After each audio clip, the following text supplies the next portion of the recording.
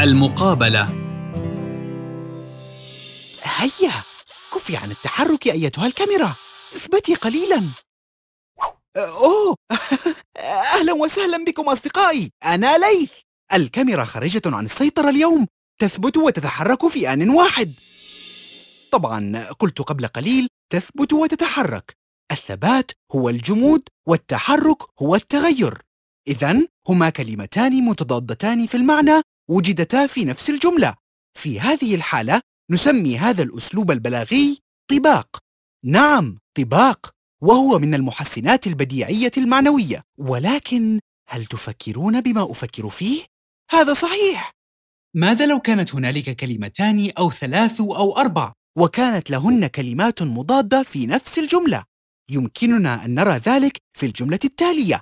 يفرح الناجح ويحزن الراسب. ألا تلاحظون شيئا؟ يفرح هي ضد يحزن فالفرح هو عكس الحزن كما أن الناجح ضد الراسب ماذا نستنتج إذن؟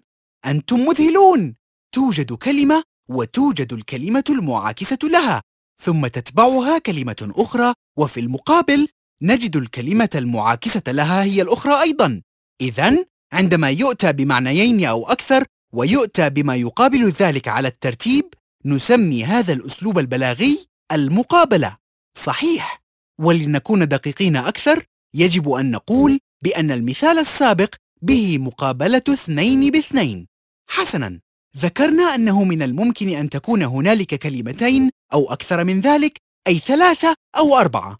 ونجد في الوقت نفسه المعاني المضادة لهم على الترتيب.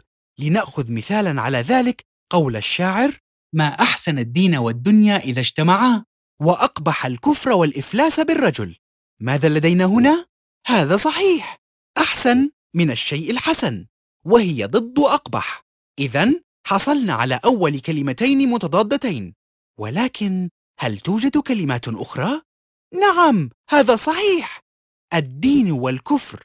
فالدين هو الإيمان بالله والكفر هو العكس. إذا هما كلمتان متضادتان. وماذا كذلك؟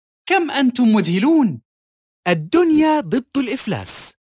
إذا حصلنا هنا على ثلاث كلمات. فهذا يسمى مقابلة ثلاثة بثلاثة. لكن ماذا إذا كانت هنالك أربعة كلمات ضد أربعة؟ سنرى ذلك الآن في بيت الشعر التالي. وباسط خير فيكم بيمينه وقابض شر عنكم بشماله. في بيت الشعر هذا نرى أن باسط هي ضد قابض فالبسط عكس القبض. خير ضد شر فيكم ضد عنكم وأخيرا بيمينه ضد بشماله. اذا حصلنا هنا على أربع كلمات ضد أربع كلمات فهذا يسمى مقابلة أربعة بأربعة. حسنا يا أصدقائي سأودعكم الآن لألتقي بكم غدا.